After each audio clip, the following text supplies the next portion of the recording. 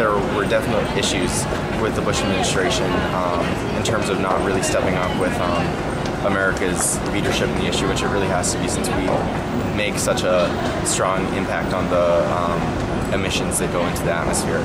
So I really think, and especially with like things coming up like Copenhagen, even uh, Bush's like refusal to uh, obey like the Kyoto uh, agreements that were made. I think it's really important and it's a kind of a fresh page in the United States where they really need to step it up in terms of pitching in to stop the effects that we've had on climate change.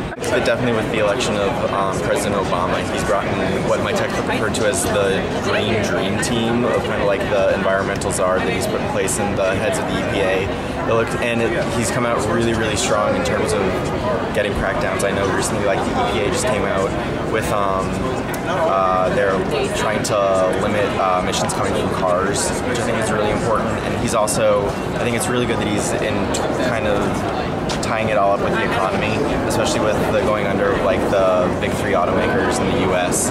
Um, they're really striving, and even on like a global economic level, the a car show recently, even in I forget if it was Germany or France, but where they're really trying to push electric cars and they're really trying to keep emissions down of cars and things like that. So I think there are really good things happening in the Obama administration to help curb uh, our carbon footprint. Oh, terrific.